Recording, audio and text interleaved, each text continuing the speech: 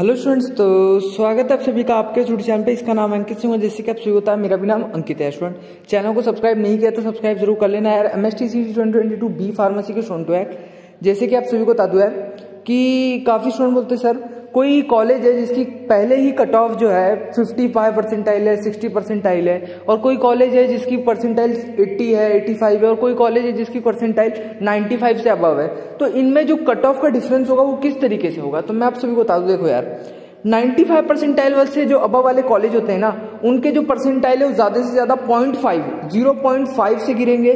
0.6, 0.3, 0.4 ऐसे कुछ गिरेंगे ठीक है? पर जो कॉलेज 80, 85 परसेंटाइल वाला होगा ना उसके जो कट ऑफ़ होंगे वो एक परसेंटाइल से डेढ़ परसेंटाइल से दो परसेंटाइल से गिर सकते हैं ठीक है? और जो कॉलेज काफ़ी कम परसेंटाइल के होते हैं जैसे 60, 54, 55 ऐसे वो जो कॉलेज है उनके परसेंटाइल तीन चार से भी कभी कभी गिर जाते हैं और कभी कभी दो से गिरते हैं कभी कभी सेम भी रह जाते हैं। तो मैं आपको बता रहा हूँ एज जैसे जैसे मतलब जैसे जैसे कट ऑफ़ रहता है ना उसी मैंने आपको समझाया होगा कि ज़्यादा कट ऑफ़ जिसका ज़्यादा परसेंटाइल है मतलब 90 या फाइव अबाउ उनके कट ऑफ़ ज़्यादा गिरते नहीं, क्योंकि यार टॉप के कॉलेज होते हैं, उनके लिए बहुत ज़्यादा सीट्स होती, उनके लिए बहुत ज़्यादा मारामारी होती है, ठीक है? तो उनके ज़्यादा फ्लक्चुएशन नहीं देखने मिलता है, ठीक है? और जो नीचे वाले होते हैं, उनके लिए इतना मारामारी नहीं होता है तो उसमें गिट ऑफ़ गिर जाते हैं, ठीक है? तो होप करता हूँ आपको समझ में आएगा, वीडियो पसंद वीडियो को लाइक करो चैनल को सब्सक्राइब करो, वीडियो करता हूँ थैंक यू